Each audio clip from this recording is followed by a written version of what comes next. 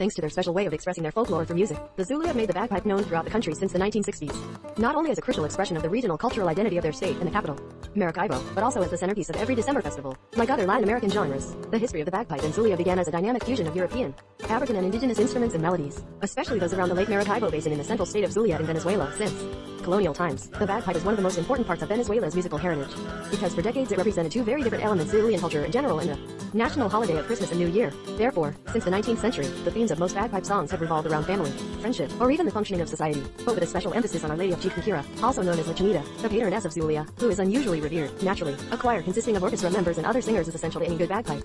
However, modern bagpipes can add other accompanying elements, such as an electric bass, synthesizer, or flute. Sometimes Zulando's political and social identity and his frustration with the political situation in Venezuela manifested through the bagpipes. I'm a culture and language nerd and a great foodie. I can't wait to share with you all my language and culture and, why not, some recipes for our traditional dishes. Develop your vocabulary, practice your pronunciation and more with transparent language online. Vegeta Landscape is home to several authors and composers who have become synonymous with the genre itself. 2021 Transparent Language, Inc.